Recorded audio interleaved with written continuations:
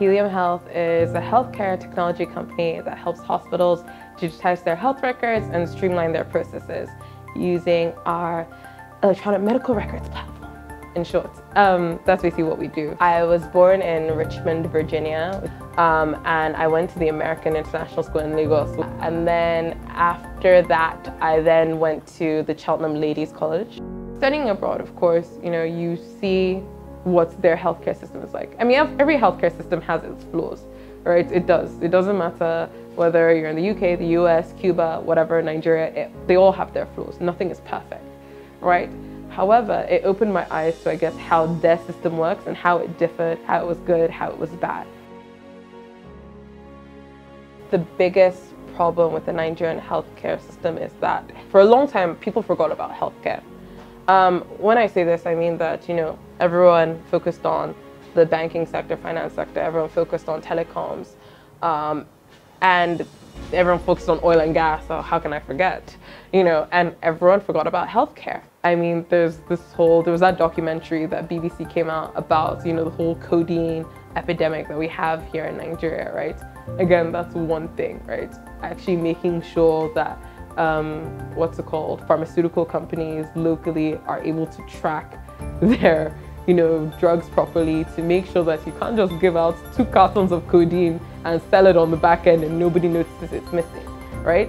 Again, tech can easily solve that because that's just having a proper inventory system in place. Helium Health in the next five to 10 years as an entity needs to be the go-to healthcare technology company um, in the world. So when I mean go to the healthcare technology company, we are the ones that have your health insurance products. We are the ones that have like, you know, your world-class EMRs for any hospital. Um, again, even going like further than that, like, you know, we're then a household brand, you know, it's like, you know, in your house, you'll be like, oh, have you booked your doctor's appointments on your My Patient portal? Um, oh, you know, just send your results using the portal. Oh, just pay for this using that. Oh, you know, they've said that, you know, there is a cancer awareness walk and everything here in Ikorodu that, oh, you should go for it. So we have then become sort of a household brand that are now transforming people from having this sort of reactive um, idea about their healthcare to it being more proactive, right? So we've then been able to change behavior and even bigger and better than that as well. You know, we are the go-to people for all these international agencies that have data, and especially with like our government hospitals. Actually, let me start with our private hospitals. One of the things we do is that we actually sponsor some of them with um, sort of devices, right? So, you know, if you go to these smaller PHCs, private PHCs, um, it's really expensive for them just to start up and purchase you know, maybe a couple million naira worth of devices, right? So like I'm talking about laptops, um, desktops, all of that. Um, so again, we're able to sort of lower that barrier of entry and give them devices to start up with. Um, again, depending on their level, they can either pay us back um, slowly or we just say, you know what, just to start, we'll give this. If anyone told me two years ago, two and a half years ago that I'd be working in tech, I'd be like, get out of here, like you're a liar um, just because I never saw myself as that tech person. I mean, when you think about tech people, right, you think about guys in like hoodies and like hunched over a laptop with like their glasses and like, you know, these San Francisco kind of nerds, right? You know what I mean? You don't think about like, you know, women like me that like, you know, like colorful dresses and, you know, things like that and like, you know, get our nails done. Like that is not your typical image when you think about somebody that works in tech, right? Um, however, though, you know, I've learned to learn that I've grown to learn that it is not sort of this scary industry that has like, you know, super high expectations and things like that, that, you know, if it's something that you are interested in, there's so many initiatives and there's so many companies that are looking for women to hire. I don't believe I didn't face any challenges just because of the team I have, you know, and externally because healthcare is also sort of like a balance between like female and male counterparts that it's just great, you know, so I don't sort of face any discrimination in that sense. And, you know, everyone also forgets about healthcare when it comes to tech. So, you know, I'm not part of the typical tech crew, you know, so I don't also face anything like that externally either.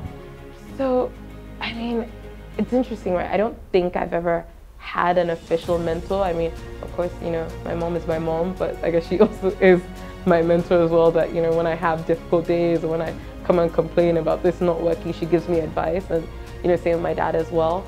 Um, but however, there are a lot of women in this sector that, you know, I do look up to and do talk to me about, okay, this is what you'll go through, this is what happens. And, you know, they themselves even sometimes confess that, you know, I'll, I'll give you an example, right? I drove from, you know, Asaba to Uyo, which is like a five hour drive. Then the next day I then drove from Uyo back to Asaba.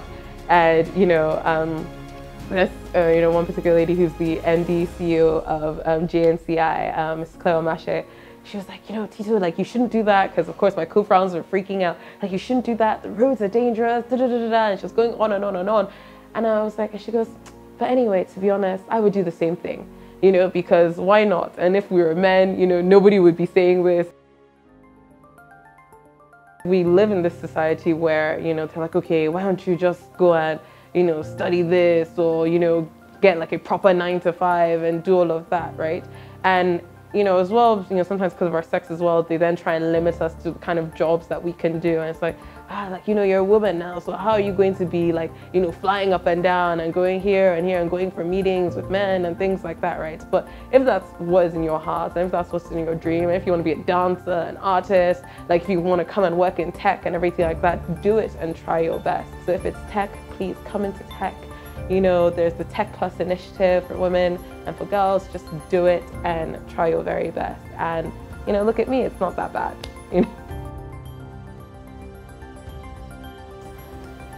Follow your passion. Like, whatever it is you want to do, like, just do it and literally push, push, push. And know in your heart of hearts that you tried your very best to make your dream come true.